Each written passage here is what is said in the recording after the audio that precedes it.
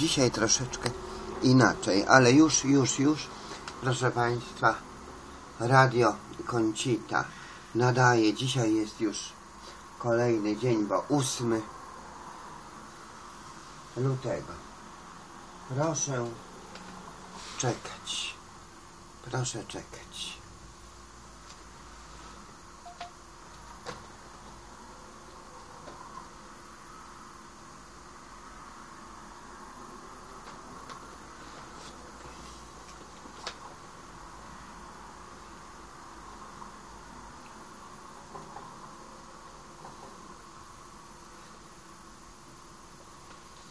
Obudź się, Polsko. Tak, tak, tak, tak.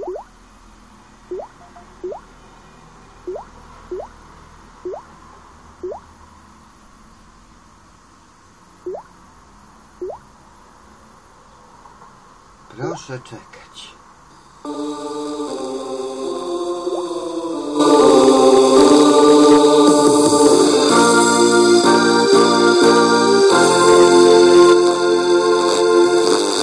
Tu Radio Maryja, serwis informacyjny przedstawią Państwu siostra Grażyna i Piotr.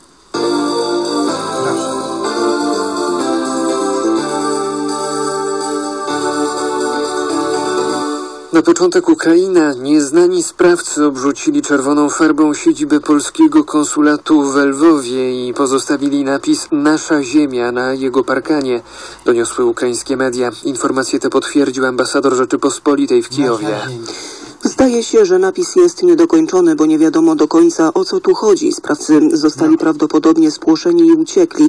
Na nagraniach z kamery widać dwie osoby, powiedział. To kolejne tego rodzaju zdarzenie na Ukrainie w ostatnim czasie. W styczniu doszło do zniszczenia pomnika Polaków pomordowanych w 1944 roku we wsi Huta Pieniacka przed oddziały ukraińskiej dywizji SS Galicen. Znajdujący się tam krzyż został wysadzony w powietrze, a tablice z nazwiskami ofiar zamalowano farbą. W styczniu także wymazano czerwoną farbą polską i ukraińską część cmentarza ofiar NKWD w Bykowni, na którym znajduje się cmentarz polskich ofiar zbrodni katyńskiej. Władze Ukrainy uznały to za prowokacje wymierzone w stosunki z Polską. Więcej na ten temat w serwisie za godzinę.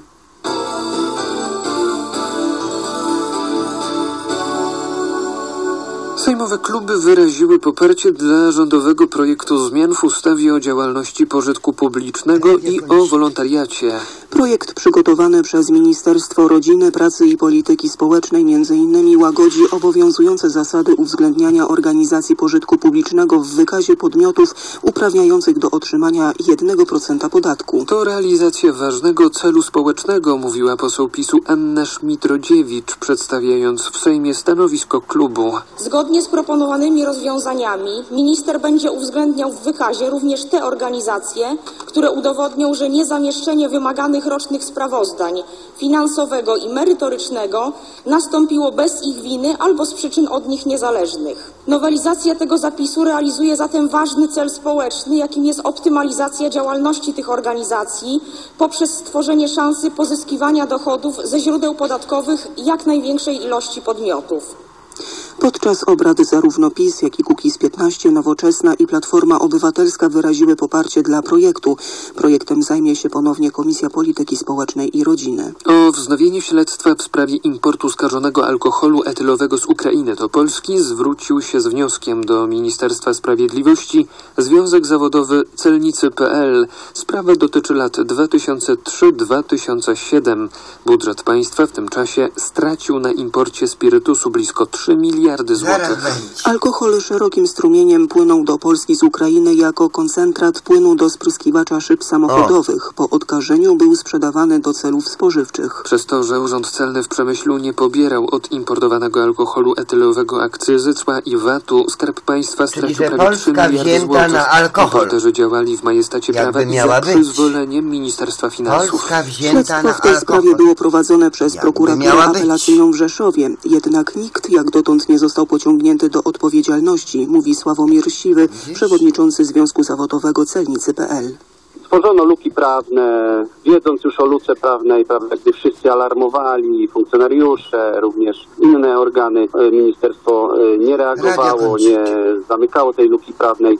Największym problemem właśnie, co powinno również zainteresować, mam nadzieję, ministra sprawiedliwości, jest to, że y, część tych urzędników, którzy tak postępowali, a więc kształtowali prawo pod, y, można powiedzieć, y, szarą strefę, wciąż jest zatrudnionych w Ministerstwie Finansów, nikt ich nie rozliczył i wciąż mają wpływ na decyzje stanowione, na procedury, na kształtowane prawo. Tymczasem obrót skażonym alkoholem wciąż tak nie nie, jest być. należycie chroniony. Przedsiębiorcy bezskutecznie apelują o zmianę prawa w celu lepszej ochrony przed skutkami działalności grup przestępczych oraz przepisów dyskryminujących polskich producentów. Transport, wyżywienie i organizacja noclegów dla pielgrzymów. Te sprawy najbardziej interesują organizatorów Światowych Dni Młodzieży Panama 2019, którzy goszczą w Krakowie. Chcą skorzystać z polskich doświadczeń w przygotowaniu tak dużego wydarzenia. Do Krakowa przyjechali przewodniczący Komitetu Organizacyjnego Światowych Dni Młodzieży Panama 2019, ksiądz arcybiskup José Domingo Uloa, także koord- koordynator generalny przygotowań oraz sekretarz generalny komitetu. Wczoraj spotkali się oni z byłym metropolitą krakowskim, księdzem kardynałem Stanisławem Dziwiszem i księdzem biskupem Damianem Muskusem. Koordynator Generalny Komitetu Organizacyjnego Światowych Dni Młodzieży w Krakowie przekazał delegacji Panamy kilka rad w kwestii A organizacji. dzisiaj jest już ósmy